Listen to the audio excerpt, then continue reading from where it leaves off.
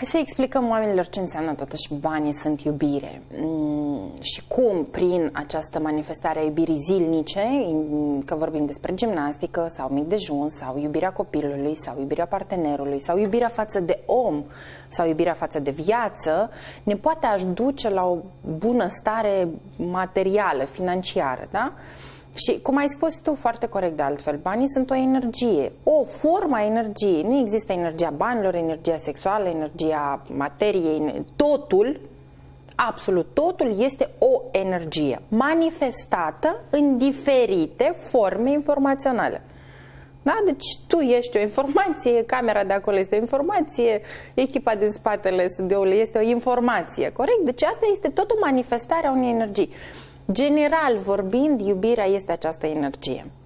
Și când noi spunem că banii sunt iubire, ne referim la faptul că astăzi, astăzi, indiferent ce s-a întâmplat ieri, astăzi banii sunt ca instrument, dacă ne referim strictamente la bancnote sau la posibilitate, la fluxul financiar, da? sunt efectiv un efect a unui comportament de iubire a omului în viața lui. Ce înseamnă comportament de iubire? Iubirea ce înseamnă? Dăruire.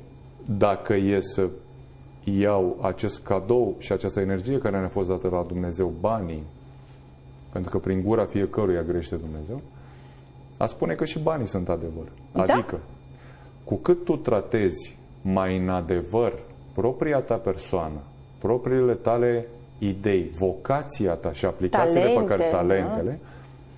Cu atât contul tău e unul mai adevărat. Ce se întâmplă în fapt?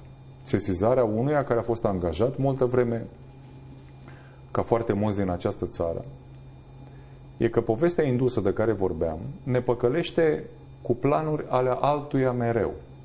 Ne spune, vom îndeplini până, dar de fapt, până la locul de muncă noi avem așa, să terminați voi patru clase ca să ajungeți la gimnaziu. Terminați gimnaziu ca să... Deci întotdeauna ni se dă o perspectivă viitoare. Ei spun că precisă, eu aș spune că imprecisă și o să argumentez imediat de ce. Deci e total volatilă această construcție dintr-una în cealaltă, uitându-se un mare amănunt despre acest adevăr dat de la Dumnezeu pentru ființa umană. Omul trebuie să se ocupe în primul și în primul rând de darurile lui, darurile lui pe care să le mulțească și să le dea adevărat lumii ca să primească plata cea adevărată.